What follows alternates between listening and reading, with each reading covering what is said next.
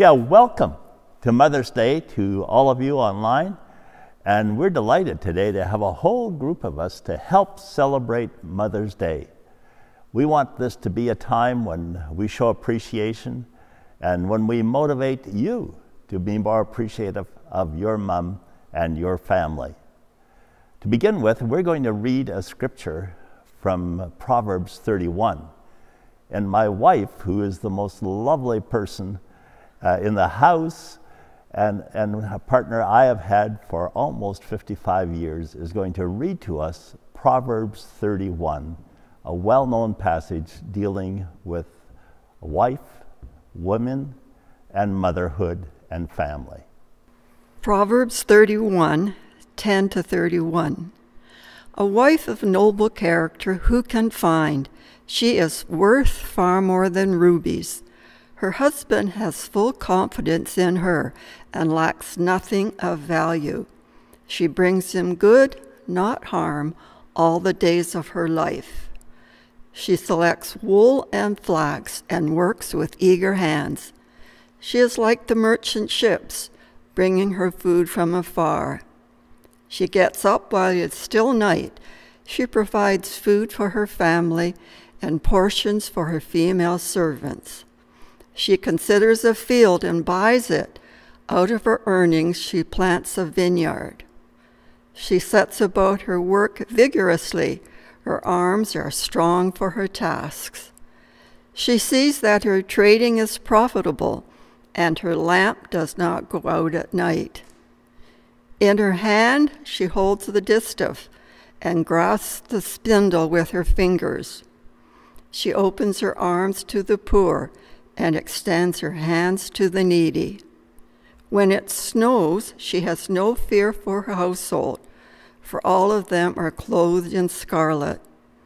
She makes coverings for her bed. She is clothed in fine linen and purple. Her husband is respected at the city gate, where he takes his seat among the elders of the land.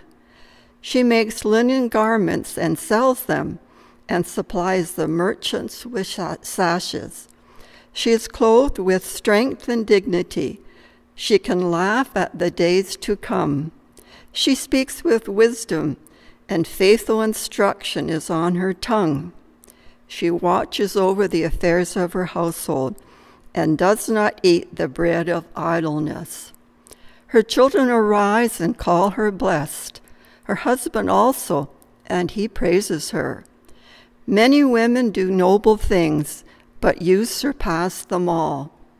Charm is deceptive, and beauty is fleeting, but a woman who fears the Lord is to be praised. Honor her for all that her hands have done and let her works bring her praise at the city gate. What a beautiful Hebrew poem. And we're going to reflect on it a bit later on after we've had our panel discussion. But I'm delighted to have with me five people representing two families. And, and they're going to share some things in response to some questions I'm going to be asking them. But first of all, we want to meet you and uh, tell us your name, tell us a wee bit about yourself, uh, and something that will help us remember you, okay? And Joe, why don't we start with you? Sure, thanks, Pastor Bud. Uh, as most of you know, my name is Josiah Duick. Uh, my mother's name is Deborah Duick, and this is my lovely grandma, Ethel Duick. Um, something to remember me by. That's a hard question to start it off with. Um, I work out of Toronto, um, but due to the pandemic, I get to work from home, which has allowed me to come back to Calvary and participate in a wonderful panel such as this. So hopefully that's uh, that's something that you could remember me by. Thanks, Josiah. My name is David Duick. I'm Josiah's father. Uh, four other children we have at home. My wife Deborah. Um, people often call me Dr. Dave. I guess maybe that's some way you can remember me. I'm an optometrist here in town, and uh, yeah, happy to be part of this panel. Hi, I'm Ethel.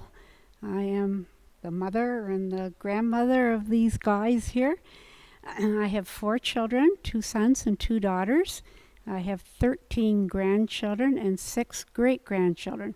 I love life. I love my grandkids, and I was I actually came from Owen Sound. I was the youngest of eight, and I had the most wonderful mother anybody could ever have. Both my parents died when I was in my 20s, so I just cherish their memories and families. My name's Hannah Houston. I'm the daughter of Christine Houston. And something to remember me by um, I have three nieces and one nephew who I love so much. I'm Christine, and this is one of my daughters. I have a son and two other daughters. My son is Andrew, and he's married to Tiffany, and they've just had their third baby. Um, my oldest daughter is Alana. My youngest is Holly. You've seen Holly here. We have a beautiful property in Caistor Center, and I have a lot of free range chickens and ducks that roam around. My kids hate them. But uh, yeah, it's kind of like my, uh, my funny farm, I think. Well, thank you very much, guys. It, it's good to have all of you, and it's, it's good to learn more of your story. And, and uh, I, I always just love hearing people talk about themselves, quite frankly, as long as they don't tell me the same story too often. but uh, Hannah and Josiah, tell us three things that you appreciate a lot about your mom. So, three things that I love or appreciate about my mom. One is her love for God and just how I can see it reflect in every area of her life. And then next is her wisdom. And then I also love how she is so patient and willing to answer any question anyone could ever have about anything. Wow, that's beautiful. Hannah, you took my first one. Uh, as my dad mentioned, um, I come from a pretty big family. I have four siblings and obviously my dad. So I think number one would be patience, and I definitely attribute some of that to our basically forcing my mom to develop that trait. Uh, so number one being patient. Number two, um, my mom is one of the most hardworking people I've ever met. As a, a lot of the people here and in the congregation know, she she runs Conversations Cafe and Convos Youth Zone that's attached to that. She runs our our family in addition to running all the logistics behind my dad's farm and his optometry office. So her work ethic has always been something that I've really admired as someone who's always always working and definitely from Proverbs 31 never never idle in her hands and what she does. Um, the third thing that I'd say I most appreciate her is her love for people, but further to that, um, her her desire to see the people around her come to know and meet Jesus. And so, in particular, whether it's at Conversations Cafe and meeting the needs for staff or becoming almost like a second mother or parent figure to them, or whether it's the kids at the youth zone, really just um, reinforcing the need to incorporate Christ and a relationship with Him in conversations because, in the end, that's really what, what the most meaningful thing we can do for staff and for these kids are. Um, and, and even further to that, one specific example I was sharing with my family a little bit earlier this week how much I love The Chosen, the TV show we've been kind of working through, and shameless plug to join us at 4 o'clock Sundays for our watch party. But her first thing that she mentioned is, how many people in the, the cafe, her staff, that she can send that show to to even get introduced to the character of Jesus. So those three things being patient, hardworking, and loving people and meeting needs, but also further to that, wanting them to meet Jesus are three things that I really admire about her. Boy, this sounds like a Proverbs 31 lady. And, and she is. I know her well enough to just appreciate her so deeply. Such a depth of character, Christian character. It's beautiful. Okay, just a few questions, uh, especially for David and Christine. What are the most pleasant and helpful memories that you have of your mom? And your mom's right beside you, David, so let's start there. I guess I'll start. Okay. Um, yeah, I, I, grew up in a very loving, caring, um, secure home, godly home. Um, and mom has a big part to play in that. Back in the day when we were growing up, dad, he was around some of the time, but mom was there all the time. And uh, so she was an integral part in how we all turned out. And um, just like that Proverbs 31 uh, lady, I mean, so many things I can think about mom. Like she'd get up before everybody else, make breakfast in the morning. I'd hear her down there making a hot breakfast. Um, she'd always make meals, especially on Sunday. Um, always inviting people over, hospitality, um, people in need, people who are going through a tough time, they're lonely. Uh, are struggling, she would have them over. Christmas was a big one. I can remember going up to Owen Sound many a time, um, and I don't really remember my grandparents that well, but just telling my mom telling me how what a great lady her mother was, and I just wish I could have got to know her more. But she would run almost like a boarding house. People that were in need or whatever passing through, she'd have them in and feed them, but also share the gospel with them. So yeah, my mom's a great woman of faith, and uh, she shares it in her uh, words and her deeds, and especially by example. And I'm so fortunate that our kids have a chance to really get to know her, and she just puts so much into them and they wouldn't be where they are today without her, nor would I or the rest of our kids. And uh, just uh, such a testimony for her, for God's goodness and, and grace. Um, I think of one verse she always used to tell me because I was kind of a miserable kid growing up sometimes, and she'd say, "If you want to be happy all the day, make others happy. That is the way," and it is so true. Um, she invests in people. She encourages people all the time always letters of encouragement, uh, notes that she sends them, or kind uh, phone calls. She leads Bible studies with her um, fellow people around Heritage Village there, and many have come to know Christ through her ministry there. And I just love her so much, and thank you, Mom. Mm, thank you. Yeah, thank you. Okay, Christine. I think I forgot to say my mom's name at the beginning. So my mom's name is Judy. Um, the most helpful memory I have of my mom is her servant heart. Acts of service would definitely be her love language. I always remember her um, busy about our home. She would wake up when it was dark and make my dad his coffee and his hot breakfast and send him off to work with his lunch pail and his thermos. And she did it every morning. And uh, sometimes she would go back to bed afterwards because she'd get up so early. But she worked about our home. She baked, she cooked, she cleaned.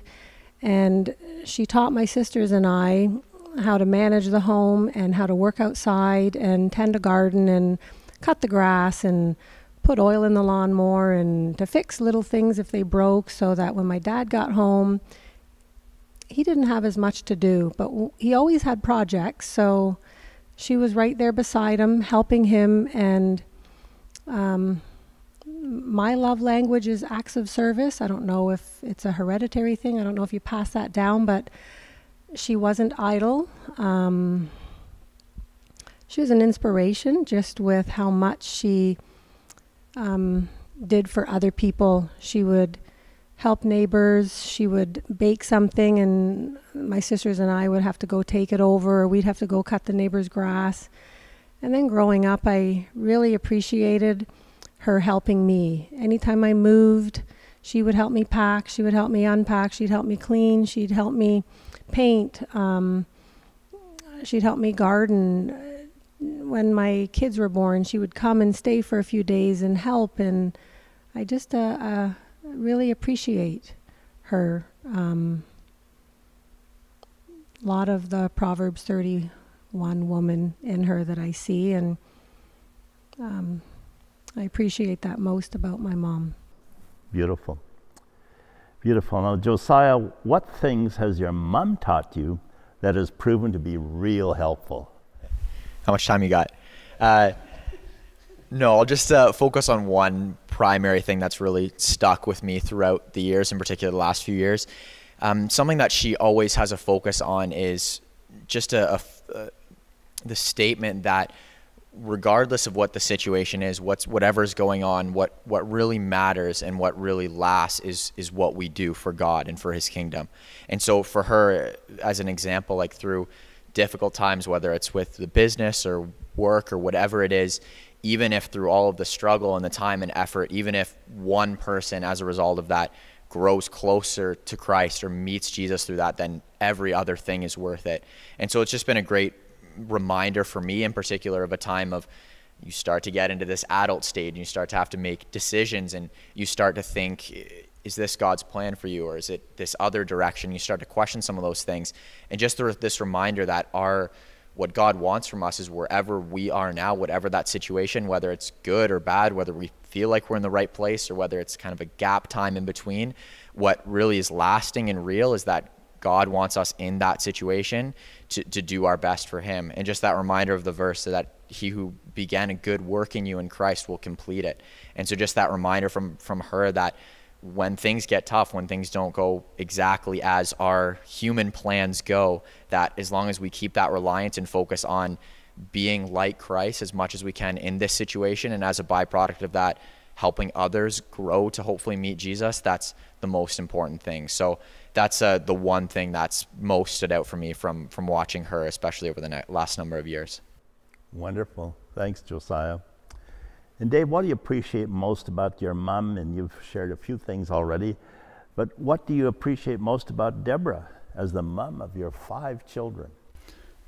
Yes, and that's that's not a hard question because they're they're very similar. And people say when you're going to get married, you try to find a woman that's similar to your mother. And in qualities, like they don't look the same, but in qualities, um, I think they're very similar. Um, I know Deb's motto, and, and mom's would be too, is love God, love people. And it's so evident in their lives, both of them. Um, they both stayed home raising the children, um, fostering a good spiritual awareness. And um, when we were at the age we could decide, then we all decided to follow, follow Christ. And um, we hope the same for our kids. Um, Mom is always there to uh, encourage, as I said before. I thank her so much for that. And our kids, how she's uh, ministered and built into their lives in so many ways. She always has special days with them all the time. Uh, Micah, it just his highlight of the week to go to Grandma's for the day on, on Tuesday. For Deborah, um, we have five children. Five children in five years, that says it all right there. I am so thankful for that, that she was so instrumental in, in bringing them up when I was working. I, I sometimes take took over in the evening, but um, we homeschooled for a number of years, or she did, I should say. Um, I helped a little bit when the when some of the subjects got a little bit more difficult, but um, in the maths and sciences anyway, everything else she was fine. But she taught them not only academically but musically um, and spiritually, most importantly. Um, they they all learned large tracts of scripture um, many Bible uh, stories that uh, they studied, uh, and it gave them a good grounding. Um, yeah, and and they're all professed faith in, in Christ so far, and we just continue to pray for them. And uh, two are married. We just uh, continue to commit them to you, but no grandchildren yet. Um, with my mom, or and Deborah too, the fruit of the Spirit is so much exemplified. Um, and every one of them. I, I started going through them uh, when I started preparing for this. I think, you know, love, joy, peace, patience, kindness, goodness, faithfulness, gentleness, and self control.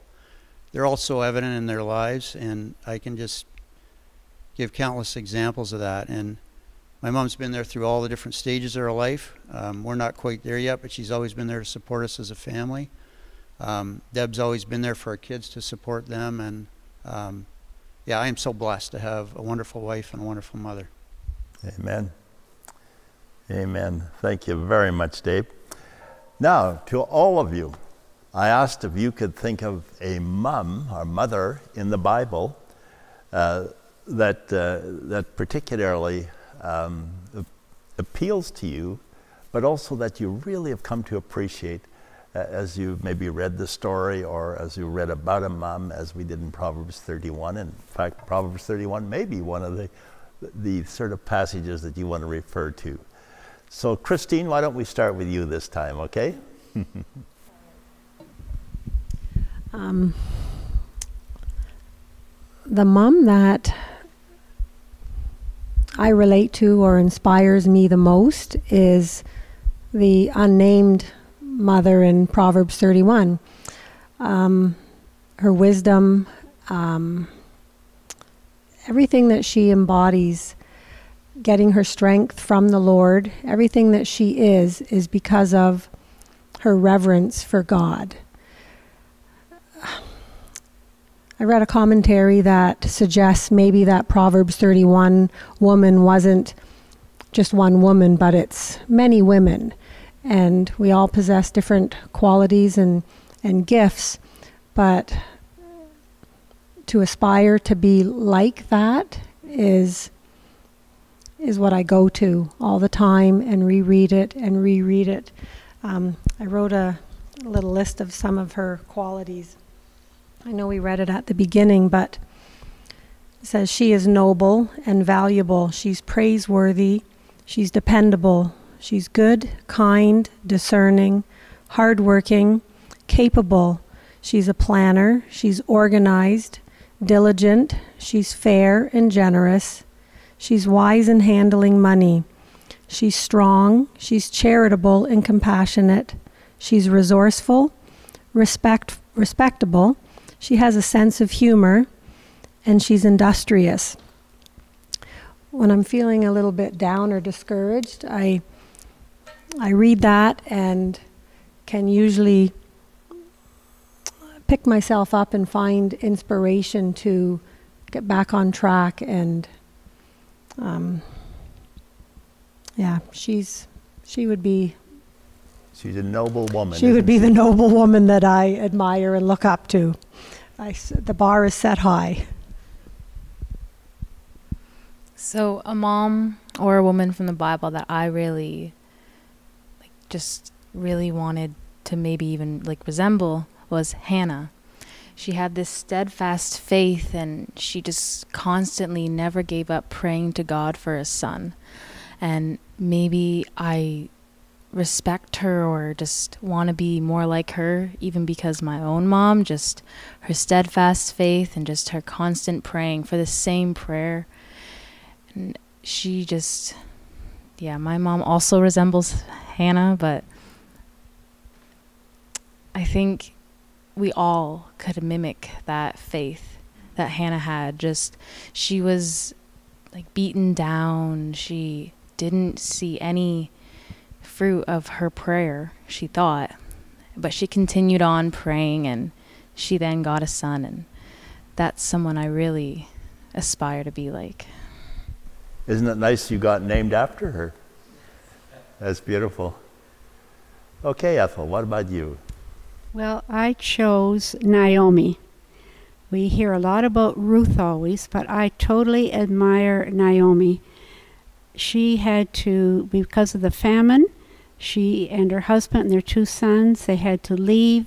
They went to a foreign country, and she had to leave all her family, all her support behind. And of course, while they were there, it ended up that they were there for about 10 years, but her husband died, and then her two sons died. And I cannot imagine what Naomi went through in her, uh, with no support and her emotions and everything else. And then she had her, her two daughter in laws. She talked with them, and she knew she had to go, she wanted to go back home to Judah. And um, she told these girls to go back to their own homes and back to their relatives and they loved each other. It tells you in the Bible they hugged each other, they cried, and uh, the both daughter-in-laws said, "No, we can't leave you." But then the one did go back home, but Ruth came with her. She must have been such an example as a mother-in-law to have such adoration from her daughter-in-laws that they wanted to be with her. And then we all know that part in the Bible that is so neat where Ruth just begged. She was she wanted to go she wanted to go with Naomi and, and you know that part that says, Wherever you go, I will go. Wherever you live, I will live. Your people will be my people, and your God my God. And then we know later on that Ruth became the grandmother of David. But I just think that love connection or that example that Naomi had during her dark, dark life, she must have been an amazing person. Beautiful, beautiful. Um, I'm going to talk a little bit about Mary, the mother of Jesus, and um, I think this is just a fabulous story we're all familiar with at Christmas time. But um, she must have been just such a humble woman um, for God to approach her and that she would be the carrier of God's only Son. And and the message of salvation and the whole genealogy about the tribe of Judah that she fulfilled that part. Um, uh, and you know when she went away because she was pregnant, she was carrying the baby, and then um, it's not proper in that culture. There's going to be a divorce and so on. So she went to be with Elizabeth, the mother of John the Baptist, and as soon as Elizabeth saw her, the baby leaped in her womb, and um, and John the Baptist with his ministry and Jesus with his ministry, right in tandem with each other. Um, and just how Mary saw Jesus through all the stages of his ministry and uh, um, and supported him and um, yeah, and just it must have just been overwhelming for her to contemplate that uh, thing in her mind. But um, yeah, but anyway, that just impressed me about a uh, one of the exemplary mothers in uh, Bible times. It's a perfect segue because mine was actually Elizabeth. So. Um, I know we most of us know the story of, of Elizabeth, but I think Luke 1 just does an amazing description of, of who Elizabeth is and, and a little bit about her story. So, as my dad mentioned, that she was the mother of John the Baptist, but what was so cool about her is that for her entire life, there's only a couple a couple verses that we know about her, but all that it says is is she was barren and she was a fervent and obedient to Christ. And what I think was really important about that is that in in that culture, when you're you're a mother, when you're getting out more more elderly and, and grown in age, and you don't have a child, a lot of people automatically assume that you've been disobedient to God, and it's it's seen as as almost a shameful act because you haven't been able to to have a child. And so, a couple things that I, I really take away and respect from Elizabeth is first of all God's timing. Like I'm sure for her it wasn't ideal that you wait till you're elderly and older before you even have your first child, but the fact that there was that level of trust and the fact that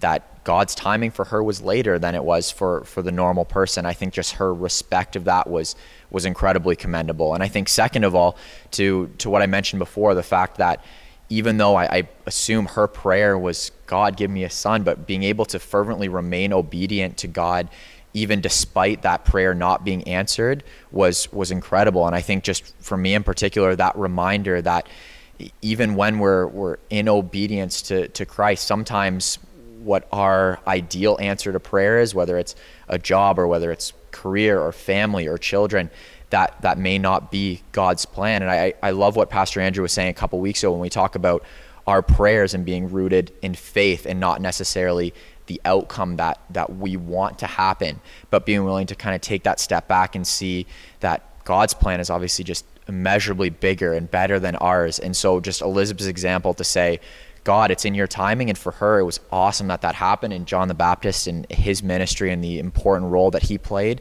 But the fact that she was willing to continue to be obedient in that time of waiting and not knowing whether or not this prayer would ever be answered is, uh, is amazing. And that's just someone that I really look up to as a mother in the Bible. Great, yeah.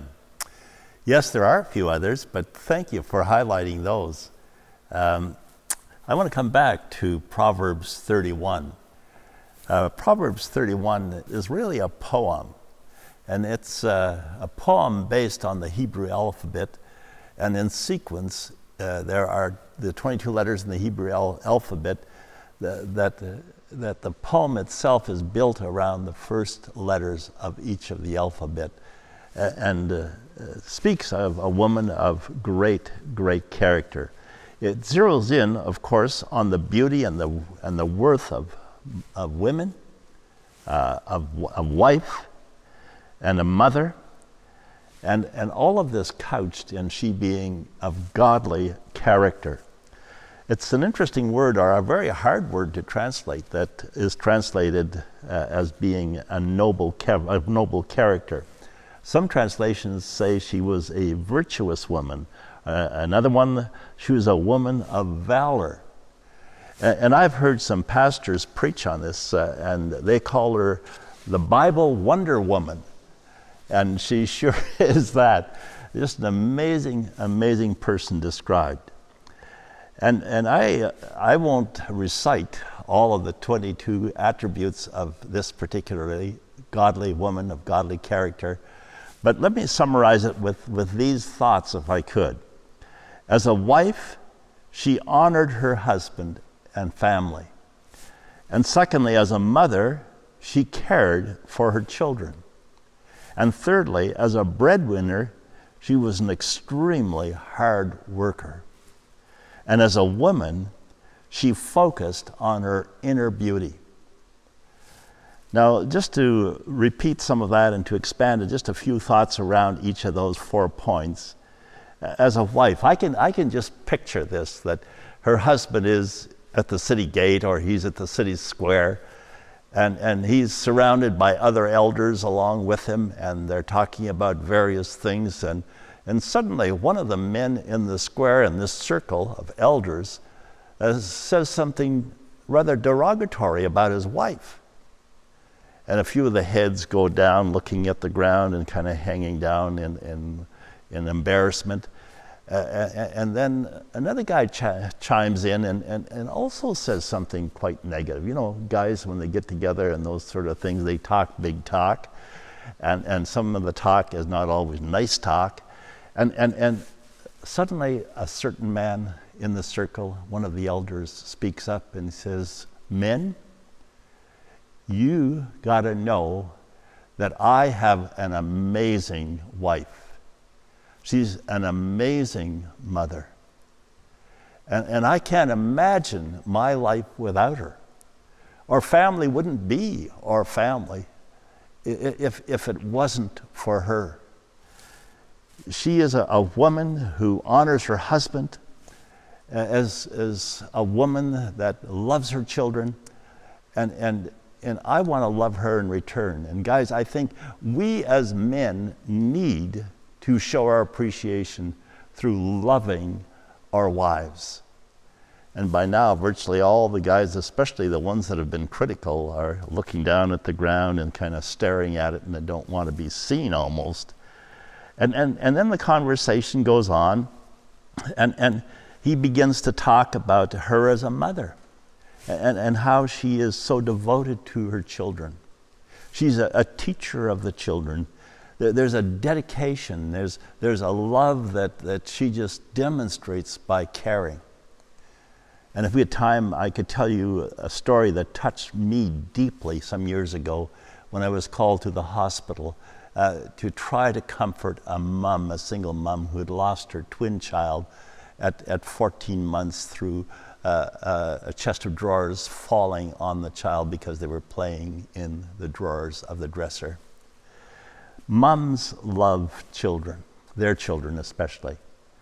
And, and we, we must, uh, and even though I'm too, I'm too old to have a living mother, but those of us who have living mothers and grandmothers, uh, we need to practice saying, I love you. Thank you for, for being you. It's so important. Now, this mom described in Proverbs was also a working woman. She got up early before dawn and she was still working when the rest had gone to bed. And, and, and she contributed to the family. She was in, uh, you know, a very important worker in the household. But in addition to that, she worked outside of the home as well. And, and some of the, the goods and things that she was able to accumulate from outside and her work and so on, she, she handed or passed on to the poor. Just an amazing picture of, of a woman who was a breadwinner, but more than a breadwinner. It was just a picture of compassion. And then she was a woman whose focus was on God. She realized the most and greatest beauty that a person could possess was an inner beauty. I, I picture she was a beautiful lady, physically as well, but, but her real beauty was a deeper beauty, a beauty that came from inside. It came from a fear of God. And I looked at my Bible just as I was turning to Proverbs, and, and this is one of my older Bibles, and it's a large print Bible because at my age, when uh, we ask what version are you reading, I always say I'm reading the large print version. And, and, and I wrote this I said that fear, and the acrostic for fear, F E A R, is false evidence appearing real. Fear is false evidence appearing real. And what I fear the most will become my God. And so I want my fear, and a godly mother wants her fear, her reverence, her respect to be for God. For as the Proverbs also say, the fear of God is the beginning of wisdom. It's the right fear to have. Now, we want to know that we love you. We love you as a panel, and I'm especially thankful for your participation today. And, and we, as men especially, we owe so much to our mothers. We all do. And, and I trust that you've had a good experience, and I unfortunately realize that there are some who don't have a good experience in terms of their motherhood. But for those, our heart goes out and we pray for them. So I want to thank you for joining us today, and I'm going to just close this session with a word of prayer. God, I thank you so much that in your creation, you gave a special dignity to the crown of your creation, which is humanity. And, and God, after you had made all things in the course of five days, you, you then made humankind. You made man and woman and you breathe within them a living breath, a living soul. And, and so we're not just physical beings, we are also spiritual beings. And as such, we want to respect each other. We want to show appreciation to one another. But especially on this Mother's Day, we want to show appreciation for mothers. But not just today, but hopefully every day of the year. So thank you for the panel. Thank you for the Word of God and what it's taught us today again related to mums. God, thank you that you are our Father. And thank you that Jesus has called us as the church his bride. And as men, he enjoins us to love our wives as Christ loved the church. And to wives, he has said, submit to that love that is by nature the same love, or should be, that Christ's love is for us individually. Thank you. In Jesus' name, amen.